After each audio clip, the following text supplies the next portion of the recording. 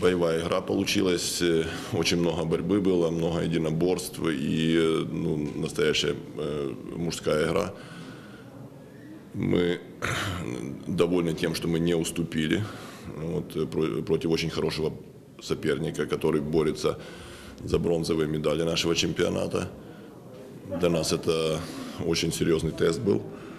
Вот э, команда Александрии, команда с, э, со своим стилем, который они не меняют уже, и команда, которая действительно прогрессирует э, с каждым годом, улучшая свою игру и поднимаясь все выше в турнирной таблице. Поэтому для нас было важно сегодня не уступить по игре. Мы довольны, что в принципе мы мужаем, это мы видим. Никто не выпал из игры в плане ведения единоборств.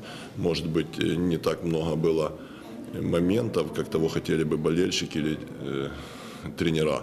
Но и игра не оставляла, в принципе, места для...